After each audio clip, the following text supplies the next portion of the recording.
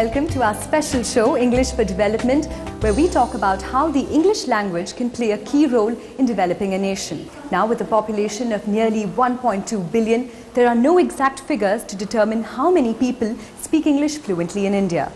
The National Knowledge Commission projects that only 1% of the total population has the skills required to compete successfully in the global workplace. With the growing economy and the rise of the private sector, English language skills are essential to grasp global opportunities. Now, there is a huge demand for English in India, from students to housewives and young professionals. And the British Council has been working closely in this field for several years, partnering with state governments, private firms, schools, and media houses to help India realize this dream.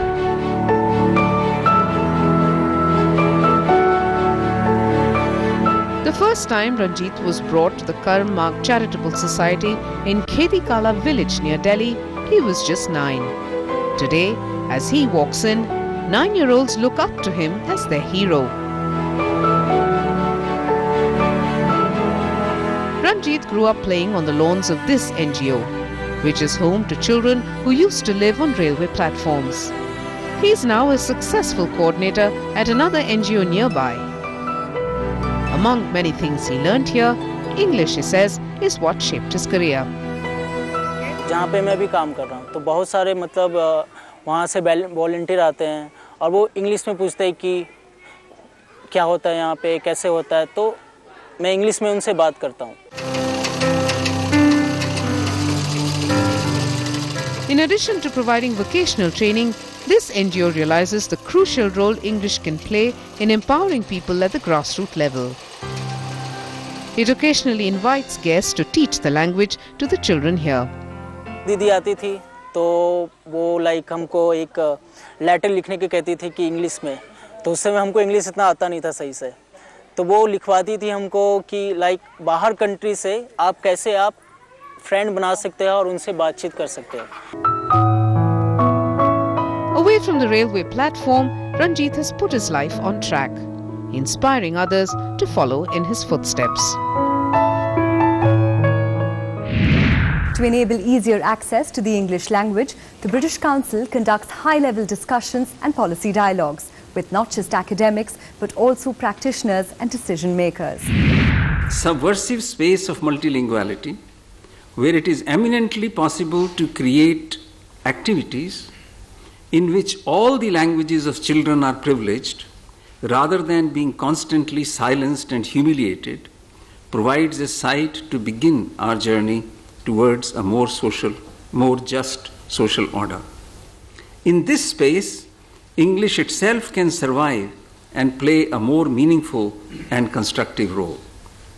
Children can begin to realize that their languages are as systematically organized as English or any other language. This is a space where we can not only examine dangerous sociolinguistic stereotypes but also promote divergent thinking, higher levels of linguistic and scholastic achievement, metalinguistic awareness, cognitive flexibility, and most of all, social tolerance, all of which correlate with multilingualism. We know that now. Secondly, I think there is no reason to believe that what could happen to Greek, Sanskrit, Latin, or Persian will not happen to English. So I think there is a ringing bell there which people should listen to. And finally, and I think that's a good sign, that technology which was hitherto almost exclusively exploited by English is now increasingly accessible to all languages. Alison, why uh, do you think um, uh, English is important for development? I think Professor Agnihotri raises some important points, and I think um, as, as the British Council, we're fully aware of the potential risks associated with focusing only on one language. Um, uh, certainly, our focus on English is not meant to be a subtractive focus. We're looking at, at empowering people to speak English as well as other languages, and, and I can give more examples of how we do that. Um, we, we mapped research from across India, um, findings from the research that we did, onto the Maslow hierarchy of needs. And what we found was that um, learners that we consulted across the country were learning English because they felt they had basic needs that could be satisfied through English. Uh, Rukmini, um, um, the question I'd like to put to you is that you teach in um, you teach at IIT Delhi, which is um, perhaps one of India's most sought after uh, institutions of higher education, and you have yourself studied at Cambridge, of course. Um, the language of classroom transaction in higher education in India is, um, whether by accident or by design, um, almost entirely English. What is your um, take on that? I'm with my students a lot of the time, and I think a lot of the time we have a paradox. The paradox is this that these students are very, very technologically skilled. They have technological skills. What they do not have, and what they often complain about, is what they call communication skills. For myself, I think that the most interesting debates will come because India is still uh, one third illiterate. What we share is illiteracy, not just English literacy, but illiteracy, because we do not know, we cannot read other people's languages. So we need to think of this in a much broader multimodal, multilingual fashion, multiscriptal. Uh, will. Um, you have worked on uh, English language projects across the world um, in very recent times in Pakistan, Sri Lanka, Indonesia, Thailand, to name only a few. Uh, do you think uh, policymakers and development uh, planners sometimes make too easy a link uh, between the provision of good quality English language education and development? Um, a, very well known Swiss economist called Francois Grin um, who has done a lot of work on this, and his conclusion is if you specify very, very, very precisely exactly what you mean by economic benefit, so who is going to benefit and exactly in what ways, then sometimes you can find a link between competence in English uh, and uh, individual income, for example. But what he stresses is that does not allow us to make generalizations about English and development. It's, it's much more complicated than that. We need much greater precision. Another study of uh, the economic impact of English is a study which was carried out in India, um, which shows that there is um, some benefit for younger people who are well educated if they have high competence, high competence in English.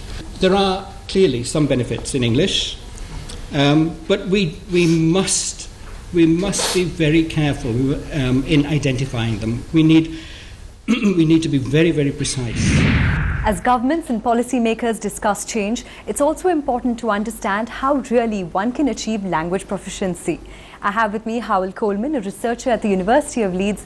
Hywel, thank you so much for joining us. Let My me start pleasure. by asking you, how much really does English help in the development of a nation such as India? Uh, it's very difficult to generalize because the situation from one country to another um, varies tremendously. English clearly has a role to play in some aspects of economic development, some fields of employment. For example, you can't become an airline pilot un- unless you have enough English to, to manage your job.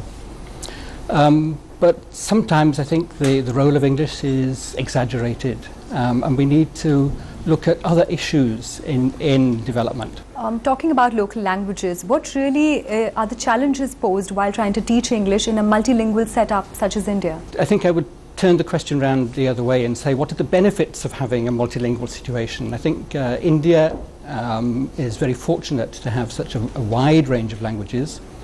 Um, and I think the, the, the challenge is to make use of those languages, not to ignore them, not to minimize them, not to see them as a problem, but to make sure that children's primary education um, takes place through the language that they are familiar with at home. On that solid basis, then you can start to introduce a national language or an international language such as, such as English at a later stage. And what really is the role of governments as well as the private sector in promoting English as well as um, lang- the other languages? Right. I think um, government has a, an important role to play in, in balancing the pressures on different languages. Sometimes there's a, a lot of demand for English, which actually can't be, um, there's no rationale for it. Um, so governments can educate people um, about the importance of certain languages, how certain languages um, may play a role in early education, other languages may play a role in uh, higher education. Government can also try to ensure a good supply of well qualified teachers who can teach through local languages, through a national language, through an international language. So government has an important role to play in quality uh, control, quality assurance, um, and in educating people about the role of language. All right, Hywel, thank you so much for speaking with us. We'll take a quick break now, but don't go away. On the other side, we'll bring you an insight into how English can really help in developing a nation like India.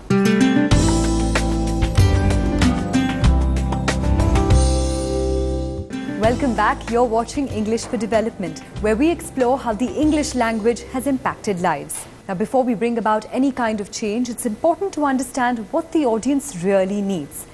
Alison Barrett gives us an insight into the Indian market, where we explore how the English language has impacted lives. The research that's been done by the British Council shows that the, the need for English is actually quite fundamental in India. Um, the research demonstrates that young people think that they need English in order to access employment. That could be vocational employment or it could be more um, uh, workplace office type employment. They need English to be able to fulfill their social basic needs, for example, filling in forms at hospitals or admission forms for their children for schools. And they also need English in order to further their opportunities, either through higher education or um, universities. The British Council conducts several activities to enable dialogue and ensure development. And I have with me the Director of the British Council, Mr. Rob Lynes. Thank you so much for joining us today. Take us through what have been some of the significant achievements of the British Council over the last couple of years. Okay, well, I think the most significant achievement is around Project English, uh, which is reaching out to train half a million teachers across India. And we've done that through training 4,000 master trainers, and it reaches 25 million learners across India. We've also uh, established four teaching centres uh, in India, uh, here in Delhi, in Calcutta, in Chennai and in Hyderabad. And we're also developing uh, new online products and mobile products. And what really are going to be your plans for the future over the next couple of years? Well, our key plans are one is engaging with a million teachers across India and making sure that they have access to uh, English language resources and materials from the UK, and also reaching out to 100 million learners across India, particularly through uh, digital products. Right. Thank you, Rob, so much for speaking with us. The British Council trains people to not just speak but also teach English. Let's take a look at how language skills have helped empower people.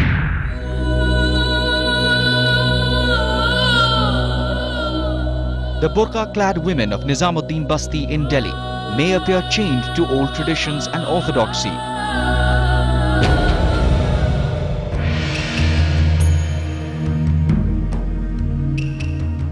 But it's only when you interact with them that you know that things have changed. Young girls here are learning English in the hope of getting ahead in life. Now I can speak in English and very correctly and fluently. And now I can, uh, I teach English to the students and it is very helpful to me. It improves my uh, teaching skills as well as it also improves my personality. Many young boys and girls from the Basti have benefited from the recently conducted course in English by the British Council. Age? Take Mohsin, for example. He has done masters in public administration, but English was one subject he lacked confidence in. With British Council's six months course in English, today Mohsin has become a teacher, helping many others in the Basti learn the language. And the families here have welcomed this change with open arms.